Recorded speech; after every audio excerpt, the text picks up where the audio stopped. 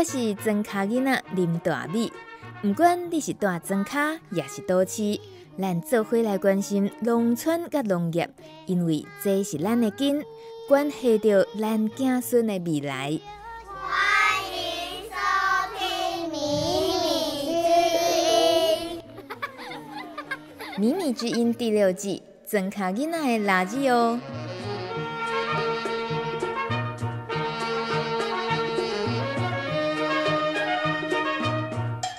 Hello，大家好。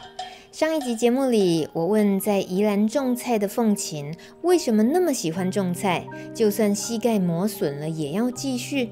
他就说，看着亲手栽种的植物慢慢长大，心情就很好啊。相信这个答案也是很多选择务农的人，或是一般人在家里的院子，甚至小阳台种植花草植物的理由。把那一点的说法哦，就是叫做很疗愈，对不对？但疗愈不是简单的 emoji 说说而已，园艺真的有疗愈的效果，已经历史悠久了。据说从古埃及时代，医师就会带着病人在迷宫花园里头漫步，用来稳定病人的情绪。其实台湾投入园艺疗愈，这个“愈”是教育的“育”。也有二十年的历史喽。相关的研究和推动成果都显示了园艺疗愈具有改善生理、心理、社交、认知以及经济各方面的效益。很多国家哦都已经把园艺疗愈归属于辅助治疗的一环，甚至医师会开处方间，不是几缸三拜几拜撒疗那种处方间哦，而是写着亲近大自然的建议。不过，在台湾的园艺疗愈这一条路还是有很长的路要走，因为园艺疗愈不是一般的园艺活动，哼哼，听起来很像哦。园艺活动真的是我们平常随便就能接受得到的，这两者的核心目标完全不同。但是外行的话根本分不出来，而且在健康效益的评估技术上头，要运用科学的评量和监测技术，都还有待推广。才能够让这么美好的园艺服务被更多人认识和应用。今天我们就要访问两位专家。听完这一集，你对园艺疗愈就可以说有一点点内行了。首先是请资深的研究员，台中农改场的花卉研究室许家锦研究员。我们先请他教我们该怎么区分一般的园艺活动和专业的园艺疗愈呢？好啊，我就说明一下，一般我们就会把园艺活动啊跟园艺疗愈啊搞混。那我们所谓的园艺活动呢，一般是指嗯，就是果树啊、水果啊、蔬菜啊、花卉啊，它的生产的作业，或者是说我们在呃做一些插花啊、花艺的创作啊，或者是在家里做一些呃花花草草的种植，这些我们都把它叫做园艺活动。那园艺疗愈会比较严格一点吼，它。说起来的话，就是要有一个服务的对象，那要透过这个专业的人员来引导他们做一些有目标性的专业的园艺活动，然后它是有目的的，是最终的目的要能够促进这个服务的人呢，他有一个健康的改进的一个部分。嗯，也就是说呢，如果是园艺疗愈的话，哈，它会比较像我们所谓的辅助治疗。或者附件的部分，哈，它有一定的目标，然后这个目标定了以后呢，要安排一些课程，然后课程做的过程以以及最后呢，要做一些检讨和个它的效益的评估。那如果没有这样的一个诶目标性的话，那我们就会比较认为它是所谓的一般的园艺活动，而不是园艺疗愈这样子。哦，可是我发现最近在呃推动的一个主题，像园艺疗愈，它的“愈”又是教育的“育”，不是治愈，呃，把病治好了的那个治愈的“愈”，这又是刻意做出来的什么样的区分吗？呃，这个其实就是因为我们在目前这个园艺疗愈来说的话，其实是引用国外的园艺治疗这样的字眼以后。呃，加以转化的词，因为目前在国内，呃，医界对于园艺治疗，它是属于它的定定位还没被认同为辅助治疗的一个项目。那所以他们对这个治疗这个字词，或者是疗愈那个愈合的愈那个字词，会有一点呃不认同。那我们为了让我们的这个业务能够推动的比较顺，所以我们用了一个转化，哦，希望是一个疗养，哦，同时带有教育意涵、训练意涵的一个字眼来使用，推动一个这样所谓的园艺疗愈的业务，这样子。哦，是，所以说是业务的话，那意思也就是在像台中农改场，在这个部分已经推广有一些历程了哦。然后相关投入的业务项目是包括哪些？我们厂的话投入了园艺疗愈，应该有二十年了哈，大概是这么久。那是农，我们是属于农业委员会的一个体系的研究单位。那我们在二十年前，大概就把园艺疗愈这样的概念引进来，我们机构做研究。那早期的话，我们是把这样的一个理念，实际上带到我们中部地区的一个社福机构。哦，例如说启智啊、启聪啊、启明等等类似的一个社福机构，去带他们去营造一个具有疗愈性的花园啊，或者是举举办活动课程。那透过问卷啊，或者是对个案的一个观察记录，去了解说这个活动带进去以后，对他们改善的情形。那么这几年来，因为呃疗愈、呃高龄化跟长照这些议题。越来越成熟，越越来越多人关心，所以我们团队把研究跟推广的对象从原本的这个呃社福机构，我们推广到了原休闲农场、社区的银发族高龄者，或者以以及这个长照机构的住民，哦，希望他们都能够享用这样园艺疗愈所研究出来的一个推广运用出来的一个成果，哦，能够享受这样的一个服务，让更多人能够。呃，来认识他跟接受他的这个疗愈，是，所以二十年很长很长哎，那个投入的整个工程，想必也是已经慢慢慢慢看见成果了，就像。您刚刚说，本来是投入社服的组织单位里面，那现在我们很多农村的呃一些长照，或者是呃像农场自己也可以有相关的经营，一样就可以符合到这样子的业务项目里面，可以得到一些呃教育推广吗？可以有一些资源来学习，是这个意思对不对？嗯，对，我们现在就是把我们的研究。呃，透过几个面向哈，有一个是就是一些场所的怎么样去把这个花园疗愈的空间营造出来，另外的就就是活动，那活动完以后我们会需要评估，那以及最后我们把这一整套在不同的一个我们刚才提到的那些不同的呃农场啊，或者是社区啊、农村啊。呃，做完以后，我们希望能够推广扩散到不同的类似的一个场场所去哈。那所谓的场所，就是说我们帮助他们营造一个具有疗愈性的花园。那这个是我们农改场最大的一个专场哈。比如说，嗯，哪一些植物适合？那怎么样特别好管理？那颜色的丰富度是不是能够让人家一进到这个花园就觉得嗯？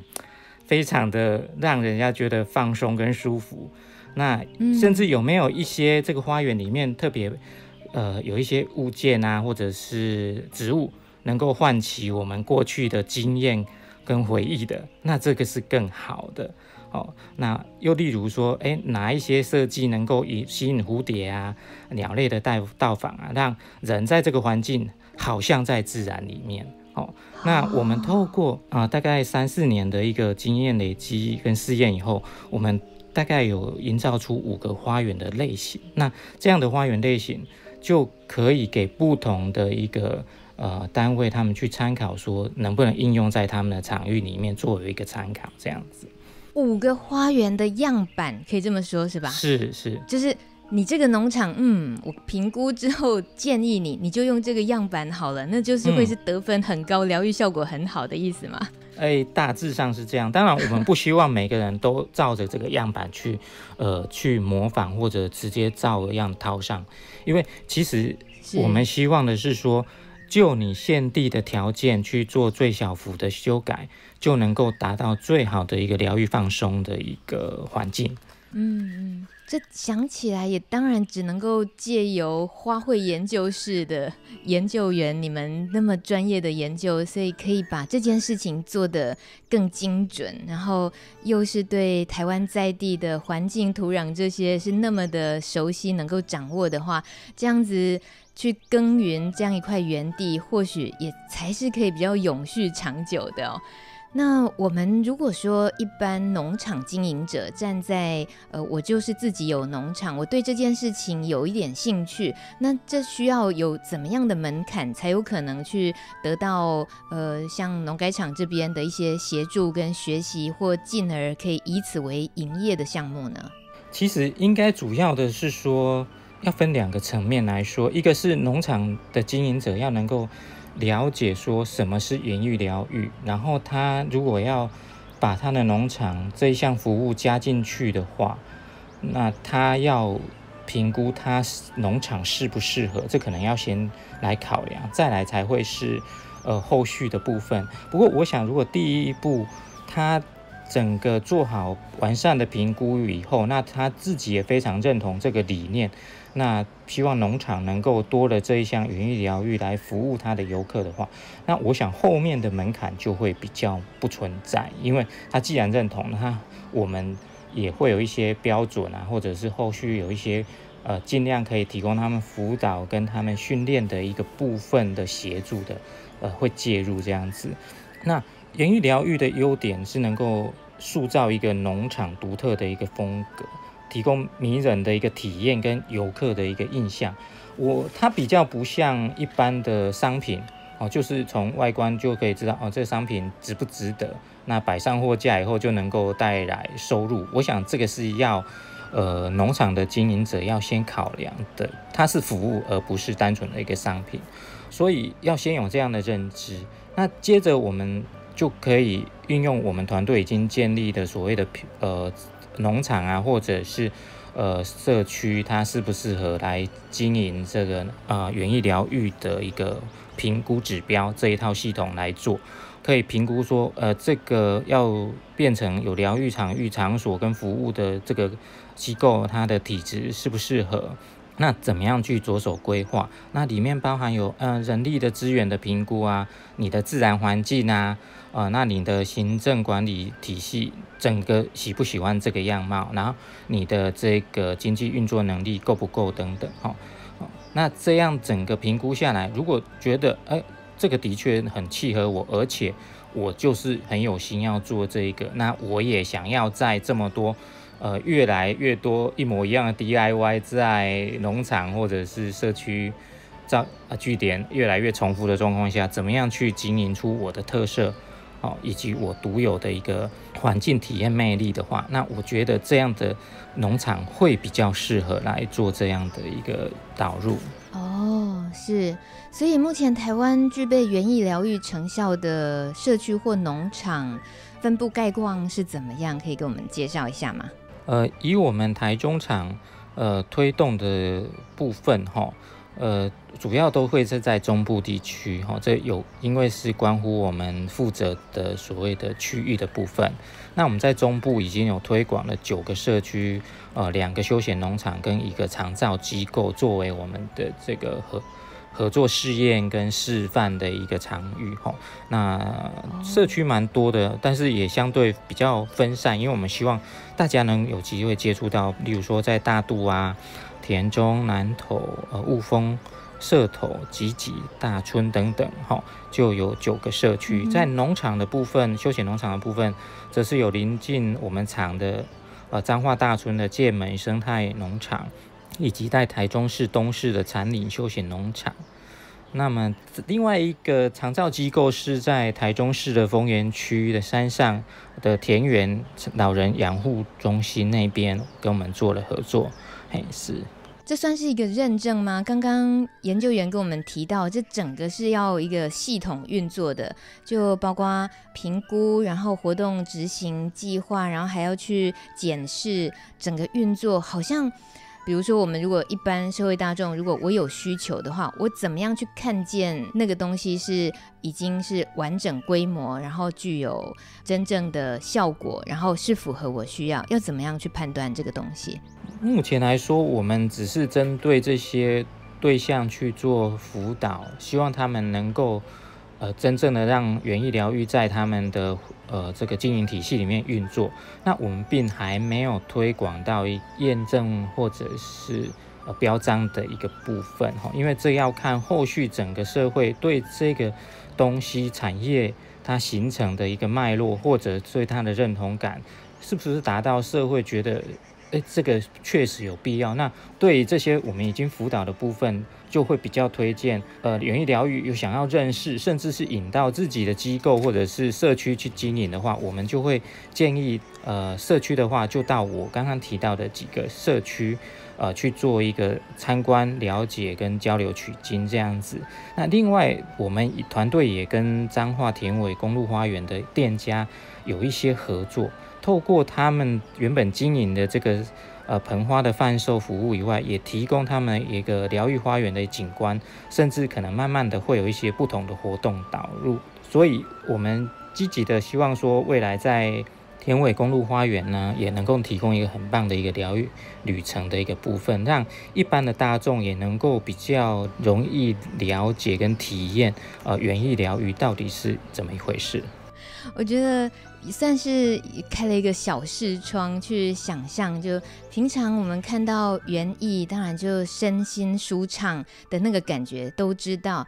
可是他真的到另一个阶段，仔细的去评估，呃，它的效益的时候，好像是另一件很科学的、很精准要去计较的事情。所以，呃，我们透过了像今天呃许佳锦研究员跟我们提到园艺疗愈的这个在台湾的现况，那我觉得真正后面执行那件事情，在你们科学研究的这种背后是很辛苦的过程，所以也有点好奇，您能不能跟我们分享一下，你都平常是需要怎么样去评估所谓的疗愈的效益呢？就是像你到现场啊，去评量监测的时候，通常累积的一些什么样的经验是？大家可能容易呃忽略的，或没有搞懂，说啊，这不是只是单纯看花而已，其实它真的会影响到健康效益的一些关键因素有哪些？呃，在我们这个做了园艺疗愈活动，其实最主要就是希望说，它对我们生理或心理的部分有一些健康促进的效益哈。那所以我们在做这些研。呃，推广研究的时候，其实都会做一些评估。那评估的呃方法有从心理层面的、生理层面的，或者是说他的肢体活动能力这样方面的去做不同呃技术的评评估哈。呃，那我们的研究团队比较常使用的有测量心脏的一个跳动的一个律动啊，或者是说侦测脑电波的这样的。呃，吸带式的仪器，就是说无线的哦。那在在参加这样活动的人们，他们在过程里面就佩戴这样的一个呃一个小仪器，只是佩戴在额头上啊，或者是在呃竖在这个胸口这边。那我们就可以发现说，呃，参加完园艺疗愈活动的人，他在呃心脏的一个活性的表现啊，比做一般的活动，例如说只是到这个农场去逛一逛，哎，表现的好。那如果是脑波的话，那也会呈现一个比较放松的情形。那因为方法很多，那我们就很想了解说，那对不同的对象啊，例如说年轻啊、上班人啊，或者是呃很年年纪很高的长辈，或或一定有不一样，爱有好用跟不好用的仪器。那我们就会做一些评估测试这些可以用的方案，看看他们。是不是适用在不同的族群啊？比如说，我们对年年纪很大的长辈，我们大概就不太可能去要他们表达什么身体活动比较不方便。你要去佩戴东西的话，可能他就穿戴还是会有障碍。那我们就改用说一个很简单的一个纸张，上面有很多微笑啊，或者是伤心的脸是连续变化的。那我们就让他表达。说他在活动的呃，就是一般这个日常的时候，他的心情是怎么样的一个符号。那如果做我们园艺活动的话，园艺疗愈活动的话，那他的心情又是哪一种符号？那这样一比较下来，我们大概可以知道说。如果比起单纯的一个户外呃活动手脚的一个活动，园艺疗愈这样子专门设计过的一个活动，其实可以提提高刚才那样的表情符号，大概是一点五个表情符号这样子。嗯，所以是非常实用化，那也会针对不同的人呃对象题，然后去做不同的一个方法的运用。那这是我们现在正在努力的一个方向。在现在台湾高龄化的时代。这些东西是绝对是越来越被需要了。那呃，请问一下，台中农改场这边是不是也有所谓培训种子人员这方面讯息？如果我们有想要进一步了解、想参与，然后像刚刚您说，如果农场经营者自己本身是支持这件事情、有兴趣的话，应该怎么样接触跟收集资料、参与比较好？呃，我们厂在这两年来已经办了两次、两梯次的这个农民学院的课程。那这个农民学院课程其实就是这几个关键字上完以后，就可以进入到它的一个呃相关讯息的网站。那它会不定期的更新最新的一些课程的训练活动。那有兴趣的。呃，这个观众可以去上面搜寻到相关的题材来参与。那它我们园艺疗愈的部分，呃，大概会在每一年的大概四到六月的时候，会透过这些这个网站来公布我们相关的培训呃的课程。那另外的话，除了这个实体的培训以外，我们团队也已经把相关的研究啊跟推的推广的成果哈，做了一些。呃，书刊啊，或者是一些教案的部分，呃，现在已经有部分已经出版了。那陆陆续续也会在针对这些更细的东西做一些呃出版的动作。那这些都可以，呃，都可以取得资本。那如果是远距离的话，其实可以在我们台中区农业改良场的网站的出版品里面得到免费的电子版的一个下载。好。很清楚，谢谢。那我相信应该大家就会知道去哪里抓自己要需要的东西了。那很感谢呃许研究员给我们呃提供这么多可以就是增进尝试，然后也可能对自己农场经营的人来讲，或许也是一个机会，然后可以提早布局，那个叫什么？提前部署。所以还有什么是呃研究员觉得也也想趁这个机会给给农友们一个什么样的建议的吗？投入这个领域？嗯，我自己其实也是本来就是从事农业生产研究啊，品种的育成跟这个栽培技术的改进。那园艺疗愈对我来说也是一个呃边研究边学习的一个。那投入这一个领域以后，其实我觉得。充满了喜悦哈，因为其实，呃，其实自己在很投入在农农农业的生产的时候，其实很容易忘记一件事，就是停下来。好好的欣赏周边的美景，然后把自己融入到里面。那不管是对自自己的这个当下的一个心境的放松啊，身体也是得到一个放松的。那其实，在整个人生的体验上，我觉得也会看到不一样的层次。那这是我自己的在这个研究跟推广里面获得的一些感想，也跟大各位观众做一些分享。很棒的提醒哎，要停下来一下，看看旁边的风景。谢谢研究员今天的分享。欢迎收听《米米之音》，整卡囡仔的垃圾哦。接下来要从医学的角度了解园艺治疗。台大医院的云林分院就有实际执行的例子。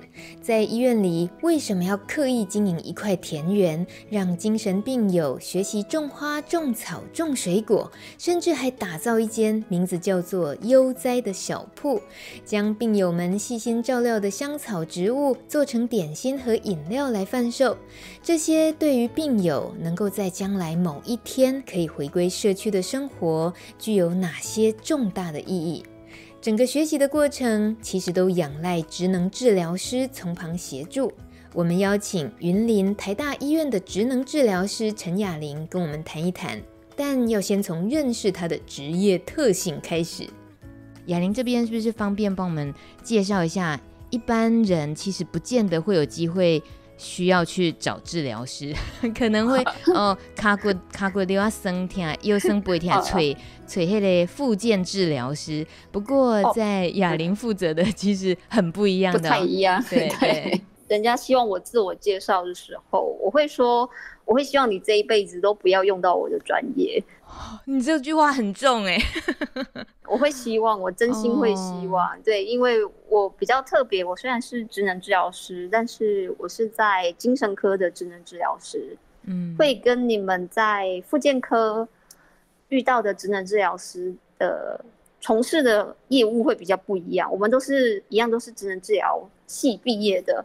然后国考认证过的这个，当然我们都是出于同一个系，可是我们做的事情有点不一样。在精神科的话，就像你你们所听的，我们遇到的大部分都是精神病友。嗯，哎，那大家对于精神病友这几个字，大家心里就会有一种莫名的恐惧，跟会不知道该如何跟他们相处，像这样子，然后说我搞不懂他们在想什么。嗯嗯，大家会很常见的精神病人，你们会觉得说他们很。混乱，每天风言风语的，然后甚至有时候你会看到他就脏兮兮的、臭臭的，然后每天自己在自言自语，嗯，会有出现很多像这样子一些精神症状的干扰。好了，那我们在精神科的治疗师，我们会很常要做的事情是在医生介入治疗之后，他们比较稳定了，他们可能还是会呈现一个每天可能都是躺在那里。然后说，哎，什么事情都不想做，然后很懒散。那我们的治疗师最主要的工作就是有点像是重建他的生活，把他一步一步带回来所谓的正常生活轨道。所以我就要开始教他说，哎，那你自己要学会打扮自己，包含如何好好的整理、弄干净自己外表。然后说，哎，那你可能不知道要如何买东西吃，那我就会带他说，哦，带他去买东西，就跟教他说你要怎么算钱。嗯，你看到这些东西，你要知道算钱要给人家钱，拿自己的东西回来，像这样子的过程，其实都是我们的治疗过程。所以，我像我们这边医院附近的那个 Seven 店员，他说：“老师，你要带病人出来。”我说：“对，我带他们出来买东西。”我都说它是一个复健跟训练的过程，所以有时候我们很常带病人在外面走来走去，然后可能在前往 Seven 的路上啊，或者去家乐福的路上啊。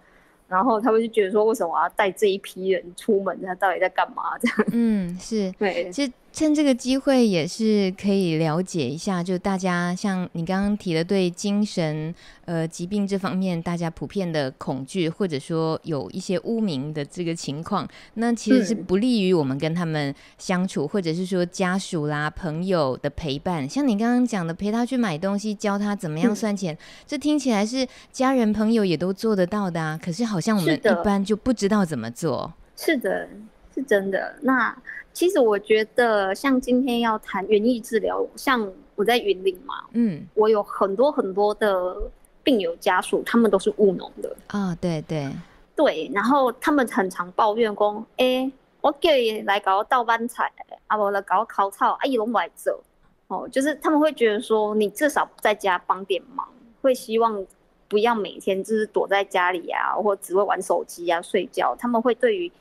病患会有这样子的抱怨，那可是其实家属很常是用一种工作的角度去要求这个病患。嗯，那可是如果我我以复健的角度，我说其实包含他们拔草也好，拔菜也好，他其实要有一慢慢一阶段一阶段的陪伴跟训练他的过程，哎他可才有办法做到那个程度啦。对，这个难，我们一般人没办法想象哎。这个引引导他真的能够听懂你说，你马来搞我倒三缸搬着草。你你跟他讲这句话，伊不会都真简单，怎样讲到底安安哪做的对啊？对，伊会讲我唔知被搬下。哦，然后我们一般家人可能就觉得你就是懒惰而已，你就是又在那边，嗯。耍废，讨厌，你就是病单烂烂，你脑破病。我们很多病人都会这样子。哦，你代际未歹呢，结婚你没关系哈。你们都爱讲代际，我是东西安呢。嗯，那我们如果说直接这个任务是交给呃交给哑铃治疗师，你呃在。医院的这样子的职场，那你们现在真的用园艺治疗发挥在精神医学上这样子的话，它的操作起来，我刚刚想象的是，哎，咱厝年菜很啊，其实嘛写当做园艺治疗嘛，啊，姆哥大概大概袂晓，所以现在搬到了医院，请治疗师来做，所以那是怎么做？那是怎么去发挥那个效果的？怎么发挥这个效果？其实我必须说，园艺治疗它真的是一个。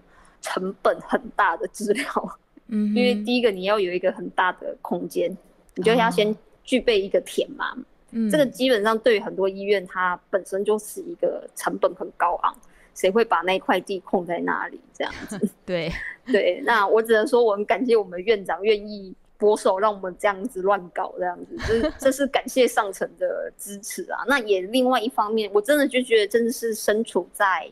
农村的优势，嗯，真的是生生于农村的优势。如果我今天我这个地方，我要是搬到台北市、桃园市，我这块地早就就被挖去当停车场了。寸土寸金呐，被那好你提来怎么，见灰见草。以前其实我们会很像很传统的，我就说什么叫传统农村，就是让病人种种水果。种种菜呀，然后我一样就是让他们做附件工作啊，把种的水果跟种的菜拿去卖给员工啊，那他们就会获得小小的一些他们工支出的一些薪资嘛，少少的钱。可是那后来是因为接触到云林县政府，他这边推的，我像这几年很常推食农计划啊，是对。那食农计划开始，我就去申请像这样子的计划，去接触到很多老师，那自己也开始去上课。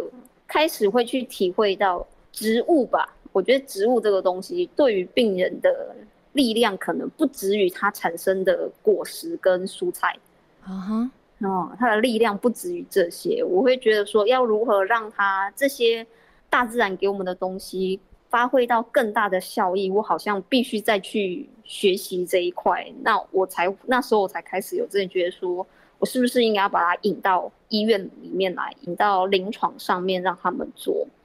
所以我一开始做的会比较简单。所谓比较简单，是我先请老师来上课，嘿，先请老师来带那个课，他一边上我一边学。哪一方面的老师？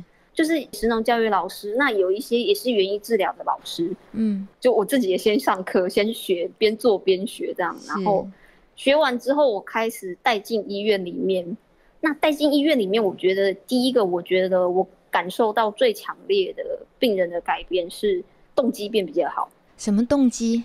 就是参与日常生活的动机变好。因为其实精神病有一个很大特色，叫懒散。哎，这个负面词有没有比较正式的说法？懒散是贴人家一个 不好的标签，对不对？对，懒散有点负面，对不对？我们说啊。生活结构松散，所以哦，原来专业说法是这样。OK，生活结构松散，那怎么办呢？结构松散，对，那结构松散，那我们会希望它比较有组织跟规律化，甚至建立一个比较好的我们讲生活习惯，嗯，会比较好一点。至少他每天要完成一些规律，可以维持自己的一些基本的清洁啊。饮食啊，这些东西我们会希望这是最基本的。那我会发现，原因治疗下去之后，它是一堂活动，也是一堂课。那病人动机变高了啊，我们护士就会变成说：“哦，你要去上老师的课，可以哦。那你今天你那个什么东西，你那个至少。”弄干净再去上课吧。嗯，你好歹把头发梳一梳再去上课吧。哦，你好歹也要做什么吧。然后病人说：“哦，好好，比较愿意配合这些事情啊，动机比较高。”我会发现哦，原来植物有这么神奇的力量。就我从以前拿一些那种纸啊、笔啊，他们都觉得呃不要不要。然后现在我就拿了一盆花，拿一一包土，然后拿了很多苗，然后进去，然后哦，要要我要进去的。好特别哦，感觉是他像是在跟植物谈恋爱。如果我们就为悦己者容啊，什么就是有那种真的就你说的动机动力就来了，这样。对，动机是第一个我看到最大的差异。第二个是我觉得植物会赋予的一个希望感。嗯哼，希望感是就是例如有次我教他们如何洗火龙果的种子，我们会种一个火龙果的小小的盆栽这样子。哦。然后他们说：“老师，以后会有火龙果可以吃吗？”我说：“可以哦，你要好好的种它五年，应该就会有了。五年，就是用时间，然后他会有一个期待，说：“哎，它未来长大会怎样？”例如像我们有时候种一些木瓜的种子啊，或者是像这样子水果类的种子，他们都会很期待说：“哎，我未来是不是可以吃到像这样子的水果？”哦，他们那个期待感会很高，对，他们会对于。我觉得其实这个对于像是一些忧郁症患者好了，嗯哼，我会觉得说，让他们看到一些对于所谓的未来的希望感，嗯，因为其实他们的无望感很强烈，嗯，每天都会觉得说我为什么要活在这人间世间上？我没有用，我应该要去死。我有很多忧郁症的患者是这样说，哎，你不要这样说，你看你现在中了这一个。他说：“哦，他都快要死了。你看他浇了水，他也是这样连连这样。我说：你不要这样说，你明天再起来看看他。嗯哼，明天他就活过来了。哎，对不对？换的，我说隔了一天，搞不好事情会变得不一样嘛。我们要换个角度去看。我觉得透过植物的这个，让他不是只有我们在劝说。我觉得植物的力量跟人的语言是不一样的。嗯，它是静静的。”很安静的，他也不会做很多辩解。你只要透过你的眼睛，透过你的手去接触，你会发现，哎，他一天一天变得不一样。你如果没有照顾他，他就死给你看。那会不会反而带来一些挫折呢？我觉得这个都是生命的学习嘛。嗯，我觉得其实为什么会现在很多小朋友的一些课程会有一些生命教育，里面会有很多像这样植物的一部分。我觉得这个都是。学习的过程，我说，哎，对啊，因为你没有照顾他，嗯哼，所以他就挂了。就像你自己，你自己没有照顾你自己，你就会像这个盆栽一样，你就没有那么漂亮。对我以前在上课的时候，我印象最深刻的是，老师都会希望说，你要跟你的盆栽对话哦，你做的东西要对话，嗯，希望你长得漂亮，希望你弄得好看，所以你要。时不时的就要去关照他，你不用天天关照，但是你必须看着他说，哎，他现在还过得好不好？需不需要浇个水？嗯哼，或者是应该要帮他怎么做，怎么梳理啊？太多的枝芽，什么要修一下？他说，其实这个都是我们对于生命的照顾。你对盆栽都会这样照顾，你对自己怎么不要这样照顾呢？它也是一件很重要的事情啊。是哎，嗯，就这些小小的提点，然后在。那个园艺的工作，这些学习里面，然后慢慢慢慢就刺激一点点这个，然后丢一点点这个。对，没错，是这样子的部分。所以我说，园艺治疗它并不是追求说我们一定要教病人种出蔬菜，一定要种出水果。我觉得那个是农夫做的事。嗯哼，是农夫负责就好了，给专业的来。给他们来就好。那我们园艺治疗做的是更专注于是这个人，这个人在这个盆栽上，他做的这件事不一定是盆栽啦，因为有时候我们会做别的。像上次我们还教他说，哎，那我们龙眼好了，我们来烘一下龙眼，我们来晒一下龙眼。他说，哦，好麻烦哦，为什么每天都要做这件事？我说，因为要有美好的成果。嗯哼，你把它晒干，你就天天都这样拿去晒之后，它会有好，你可以我们可以来煮好喝的桂圆茶。那就跟人一样嘛，你每天说哦，为什么我要减肥？反正我今天少吃一餐，我明天又不会变瘦。我说啊，你持之以恒，你就会变变瘦啦。嗯，就像那个龙眼，你每天都拿去晒晒晒晒晒，它就变龙眼干了。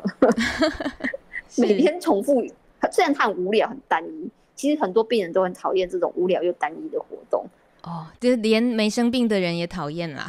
对，这其实大家都会很讨厌。就是我觉得持之以恒做一件事情，其实是一件很难的事情。嗯，是。那所以我们通常都是会尽量的鼓励，然后去督促他们。哎，没关系，我们就一起做嘛。大家就是边聊天边做，然后把它融在生活里面。那你会渐渐不会觉得说这一件是一件很枯燥或无聊，其实它就是一个日常生活。那做久了，你会发现哦。天哪！我有一天我真的喝到我的桂圆红枣茶了，这样，然后就哦，这 我终于喝到了那个叫果实的甜美，他们就会有不一样的感受。我说，哎，我终于拿到，我说我那时候把它摘下来，他就开始会回想他曾经付出的努力，嗯，是，那他就会觉得很开心，这样子有成就感的感觉。是，那像这样子的疗程，呃，可以说是疗程嘛？它会有一个像一个结束点吗？结束点哦，其实我会说每一个人的结束点不太一样。嗯哼，像悠哉小铺这件事情，嗯。对，像因为我们有运用一些，像是因为我们有园艺治疗，我们会开始产鲜它的一些附带产品，就是一些动作品跟加工品。我们成立了一项是这样子，又在小铺去贩售这样子的东西。病人透过那一件事情之后，我觉得改变最大的就是他对自己有自信。嗯哼，他们以前在社区里面或者去外面求职，他会觉得说大家都嫌弃他，嗯，大家都觉得他都做不好。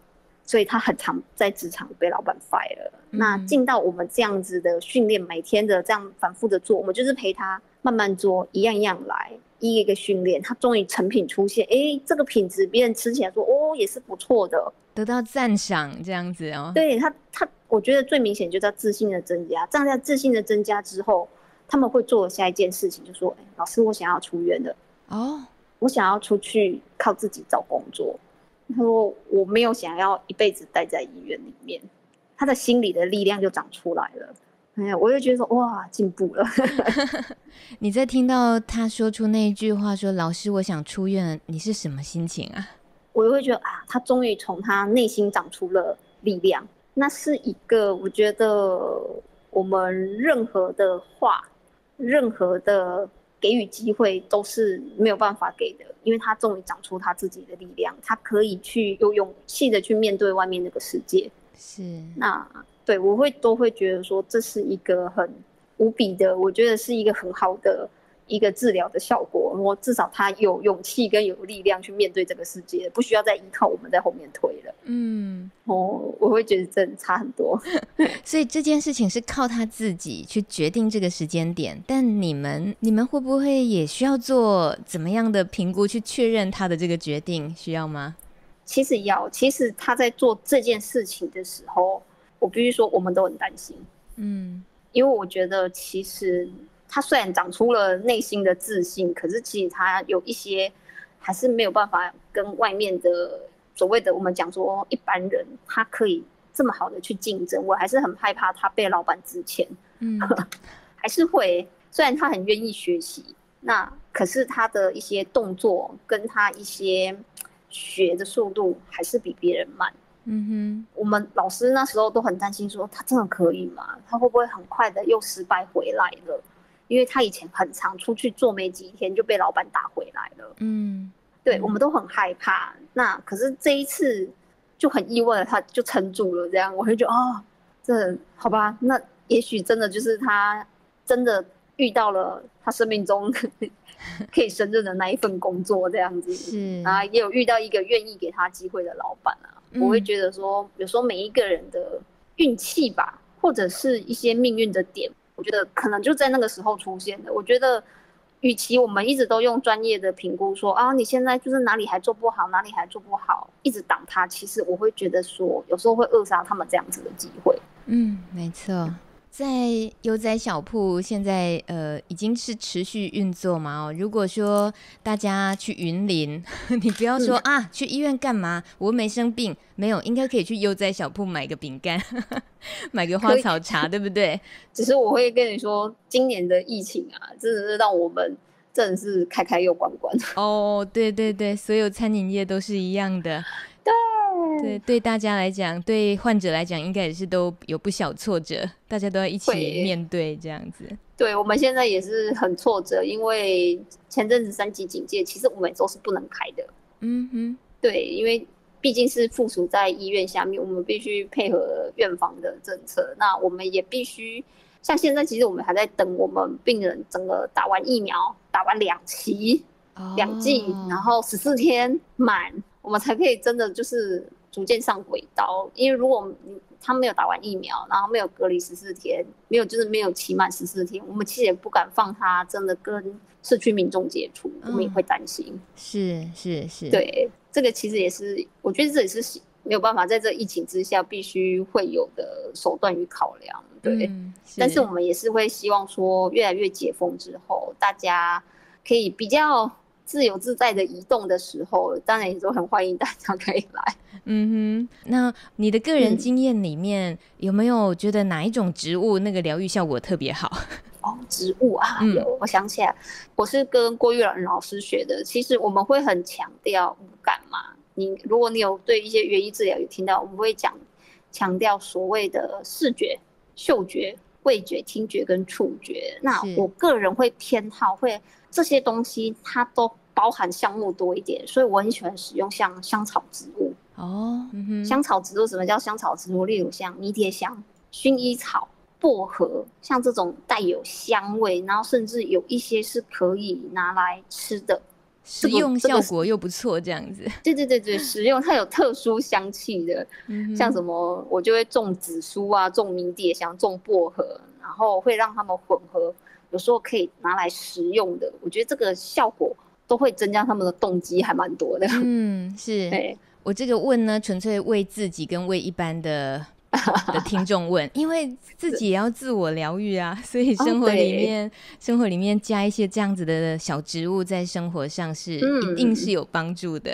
没错，疏解压力呀，等等。疏解压力有啊，现在现在最流行的，我觉得是视觉方面的，叫做多肉植物啊。对对对，我觉得它是一个视觉上很舒压的疗愈小物。哎，所以没有多肉又有香气的吗？我就贪心，多肉又有香气 的，好好，我为难了，我为难了，我们自己去园艺店找找看。哦，有这个东西，可是一般民众可能不会觉得它是多肉哦。例如什么？这个东西叫做左手香。哦，我家里有哎，一般民众不会觉得它是多肉。它就它就很常见呢，怎么会是？它就随便乱丢，它都乱长，好烦哦。哦，我们真的是住农村才懂这个啦。豆秋汤左手香那个蚊子咬的时候，整个揉一揉，擦一下，这样子对不对？好，我们这个以前我感冒，我妈还会叫我喝那个 左手香汁，真的消炎。哦，有有有有听说有听说，谢谢谢谢那个治疗师，您这么忙，我还占用了你这么多时间，感谢感谢。本集节目上半段，请台中农改场的许研究员从理论与科学实证分析台湾园艺疗愈的历程和现况；下半段，请陈治疗师以实物经验分享现代人身心灵健康和园艺治疗的需求。希望透过这两个面向，让大家了解园艺是如何在治疗和教育上发挥效用，更希望能够借此让我们看见农业艺术的价值。以上广告由行政院农业委员会提供。我们下礼拜见喽，拜拜。